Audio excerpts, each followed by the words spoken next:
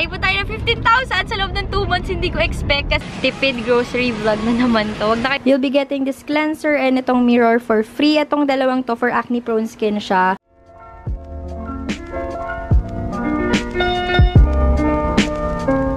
Hi guys! Another day, another vlog. And for today, pupunta tayo ulit sa Lancaster kasi mag-aasikaso kami ng mga papers. Pero tapos na naman. Parang pinapaulit lang na daddy. Tapos, meron akong gagawin ngayon. Yung pag, ano natin, pagpasa ng ano yun, COE. Tapos, binuksan ko ng alikansya ko kasi ibibusiness ko siya. Kasi kapag nandito, hindi naman siya nagkakaroon ng interest. Kaya ipasok natin so sa business. Tignan natin kung magkano siya. Ito na lahat yon bibilangan ko na lang siya. Sana maka 5,000 tayo, no? Nabilang ko ng ating, anong tawag dito, ipon. Pahinaan daddy saglit. All in all, naka 14 plus din tayo. So, ayan. Nakakatuwa kasi akala ko mga... expectation ko mga 3,000 lang ganun. Kasi binibilang, basta lagay lang ako ng lagay. Tigbe 20, tigbe 50, 5,000, ay 5,000, 1,000, 500, ayan.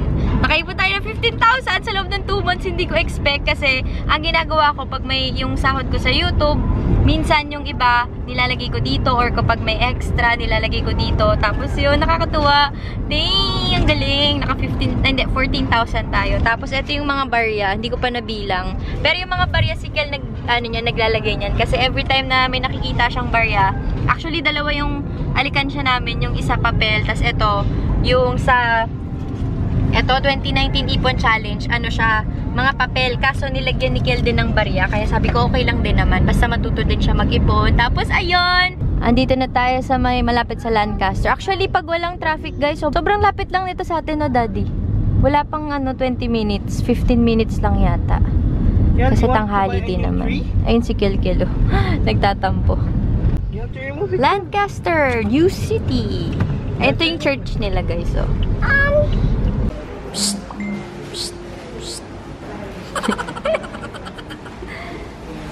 Kel! One of the reasons bakit kami, bakit ito yung napili namin. Kasi may sarili silang daanan. Sige, may sarili silang shortcut, mas mabilis. Ayan o. Kaya, iyan din, naisip namin yung daan. Kasi para hindi kami mahasal sa traffic. Craving kami ngayon. Ako pala, sa mangga. Gabi na, hindi na ako nakapag-vlog kanina. Pero ayan, sobrang sarap kasi nito. Tapos, bagoong alamang is from Nanasi's Kusina. If ever na gusto nyo, ayan, masarap siya. Kaso matamis siya. If ever na mahilig kayo sa matamis, yan yung sagot. Kaso ako, inag-add ako nung bagoong ng tita ko kasi maalat naman. So, pag pinag-combine silang dalawa, sobrang sarap na. Tapos, ito naman, toyo na may asukal tsaka asin. Para tatlo yung sausawan natin po, no? Kain!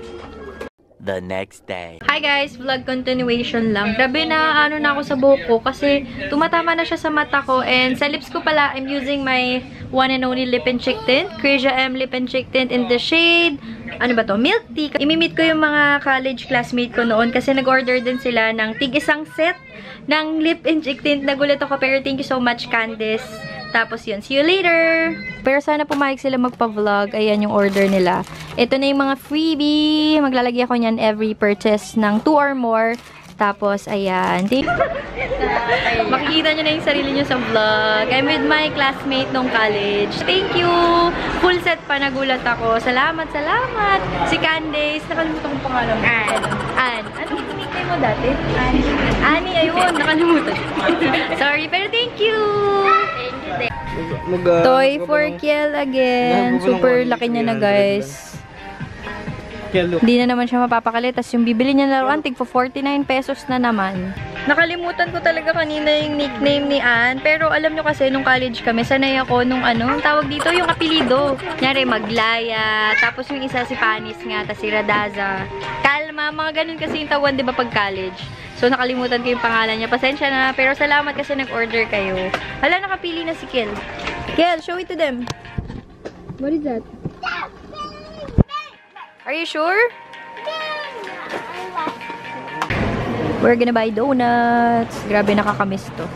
27 pesos for half dozen. Yung mocha yung bibilin ko. Buying Turks. Food trip kami pag uwi. Chicken sa kanya. Bumili ka rin sa'yo? Anong in-order mo? Beef? Nandito kami sa all day. Tingnan mo hawak. Tingnan mo hawak. Ay, na yun. What's that? What are you holding? Nutella. What are you holding? What? Why are you holding that? Do you like it? Yung small na lang bilin mo, yun yung nasa taas. Kakain na, no? Bili ka tasty. Yaman. Bumili Nutella o yaman. Kakain din daw siya. Ito, yung ganito. Kasi bumili ako fiber. Meron sila dito, kaso mahal. Or your red velvet, 372 pesos. Come on, baby. Dito tayo.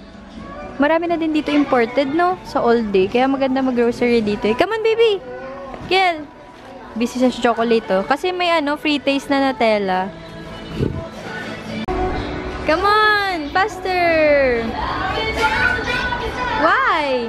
Meron din sila dito guys, oh. Italian flavor cake. Parang ang social niya tignan. Sarap sa kape. 705 nga lang. Are you excited to play with your new toy? Yes and no. What? You show it to them. What did you say to Dadu? 200 lang yan, guys. Mukhang mahal no kasi malaki, pero mura lang siya. We have a package here. Asa na? Ayan, dadali ni Kel sa taas. Hindi ko alam kung ano yung nasa loob eh. Pero later na. Si MJ, binalan ako ng Starbucks Espresso. Sarap siya. Tall lang yung binili ko. Hindi ko alam kung anong meron sa kanya. But pinahayaan niya kami bumili ng kung anik-anik. Ayan. I also bought gardenia sa my all day. Favorite na chichirya ni Kel, honey butter. Pero minsan lang naman siya mag-snacks ng ganyan. Ay, parang walang hangin.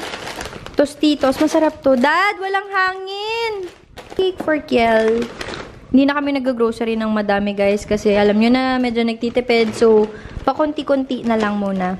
Kaya, bumili ako nito. Pwede kaya to sa coffee, cocoa sugar. Tapos, ayan, pansit canton. Bumili ka pala niyan, Daddy? Meron. Mm, Uy, pumutok. Sibuyas. Tapos, eto, Hunt's na tomato paste. Ayan siya. Magbe-blender ako mamaya or bukas. Tapos, eto na yung Nutella. Kailan ba kami bumili nito? Matagal na yata. Parang magto 2 years na na wala tayong ganito. Kasi nga mahal siya. So, ngayon meron na ulit. Thank you, Daddy. So, ayun lang yung na-grocery natin. Siguro, isasama ko na din yung grocery haul ko nung ano, parang last last week.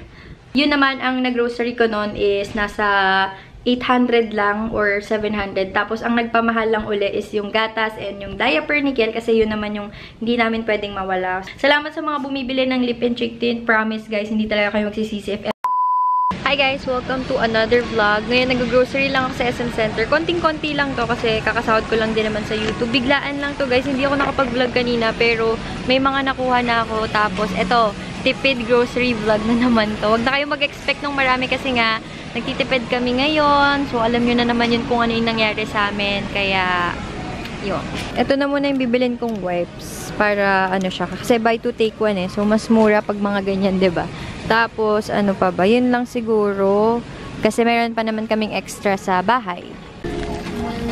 So, ito guys yung mga nakuha ko. Coffee mate, uh, wipes, halo-halo na dito, no? Gardenia na, wheat bread, yung favorite ni Kel na Yakult, potato. Ito pang ulam namin mamaya. Kasi more on ulam kami for everyday para nga mas matipid. Tapos Nescafe Gold and diaper and ano, gatas. Natingin lang ako ng organizer para sa tint. Para ano sila, nakasegregate sila. Magkano ba to? Tingnan natin. 100. Kaso malaki masyado. Dapat ganito lang para mababa. Makikita ko yung color ng tint. Sabi ng kapatid ko dito daw sa Japan Home, maraming organizer. So, dito na lang kami. Gusto ko yung napapatong eh. Para limit yung space. Meron. Ayan! Mas okay yan. Magkano?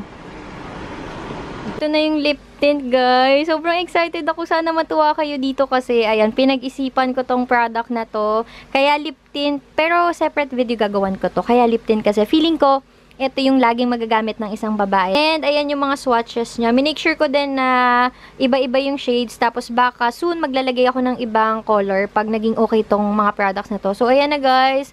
I'm so excited! Ang cute, ba? Oh my gosh, guys. Gabi na. And pag uwi namin, yung dumating na package is from HBC. Thank you so much po. Ito yung bago nilang skincare line na ano siya, Korean. Korean skincare and limited edition lang to. So, make sure na pumunta na kayo sa HBC guys kasi besh. Sobrang cute ang packaging and I'm sure this one is very affordable lang, ba? Tapos, ito yung mga products na na-haul ko na. Yung iba na itabi ko na. Tapos, yung iba ipapamigay ko na sa mga kapatid ko. Tapos, ayan, ito yung pinakikiintay ko na ang tawag dito promotion from Caris kasi guys, magugustuhan nyo to. Meron kayong free na ganito. Pag bumili kayo ng A-Stop toner, alam nyo naman, favorite ko din yun. And free mirror. You'll be getting this cleanser and itong mirror for free. Itong dalawang to for acne prone skin siya. Ayan, sobrang natutuwa ako sa promotion na to guys kasi effective din talaga tong A-Stop. Nasa 920 yung toner. Alam ko free shipping, not sure pero ilalagay ko na lang lahat ng details sa description box. Tapos, ayun nga, may free cleanser. Oh my gosh, natutuwa ako kasi nagamit ko na din yung cleanser and it works fine para sa akin. Alam niyo bang mga beshi, nag-restock na rin ako ng mga tints and salamat sa mga feedback kasi besh, yun na nga, paulit-ulit ako kakaibang lip tint talaga siya. So, yun, nag-restock ulit ako ngayon. If ever na gusto nyo, just message me. I tested this out and minake sure ko nakakaiba talaga siya kasi ang dami ko na din nasubukan na lip and cheek tints. Siguro mag-good night na rin ako kasi wala na din naman kaming gagawin. Tapos mag-ayos pa ako dito sa kwarto. I'll see you guys on my next one. Bye-bye!